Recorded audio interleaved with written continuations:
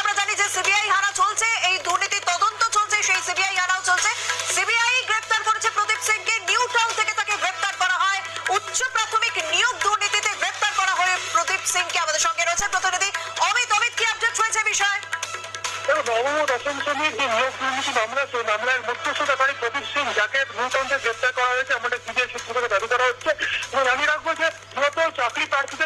SSC বিভিন্ন কর্তা কর্মকর্তা বা যারা নিয়োগকর্তা তাদের মধ্যে মধ্যস্থতাকারী হিসেবে এই প্রদীপ সিং কাজ করবে এমনটাই সিবিআই সূত্র দাবি করা হচ্ছে। সেক্ষেত্রে সাত সাত এপ্রিল সিবিআই তরফে যে এফআইআরটা করা হয়েছিল। প্রথম নবম ও দশম শ্রেণির নিয়োগ মামলায় আচ্ছা। আন্দোলন হিসেবে বিভিন্ন জনের কথা বলা হয়েছে বিভিন্ন সাসপেক্টকে আন্দোলন হিসেবে দেখা হয়েছিল সিবিআই তরফে।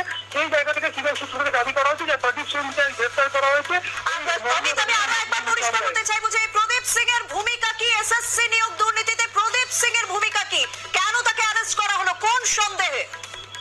মধ্যস্থতাকারী হিসেবে প্রতীক সিংকে অ্যারেস্ট করা হয়েছে? এখনও পর্যন্ত সিবিআই সূত্রে বলা হবে নিয়োগকর্তা এবং প্রার্থী চাকরি প্রার্থী তাদের মধ্যে নিজেদের প্রতীক সিং কাজ করেছে এমনটা